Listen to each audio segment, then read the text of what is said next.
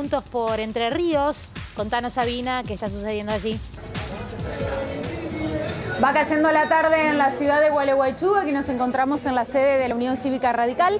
A diferencia de lo sucedido en las elecciones primarias, esta vez eh, la recepción de los votos se eh, concentra aquí en la sede de la UCR. En Las Pasos recordarán ustedes que fue en la sede del partido Nuevo Espacio. Bueno, aquí estamos, Urquiza, calle Urquiza y eh, Mañasco es donde bueno, está empezando a llegar gente para bueno, ir eh, recibiendo los votos. Que hasta este momento los datos que hemos podido recabar indican que sobre un total de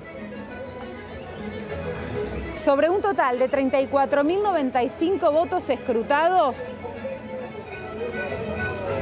8.806 corresponden al Frente de Todos y 19.821 votos corresponden a Juntos por Entre Ríos.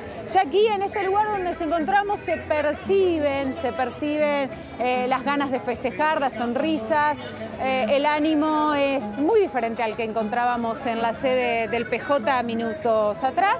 Eh, pero bueno, siguen expectantes a ver qué es lo que, lo que va llegando de las mesas que, se van escrutando. Muy bien, Sabina, gracias, hasta luego. Y vamos ahora a tomar comunicación con otro punto de la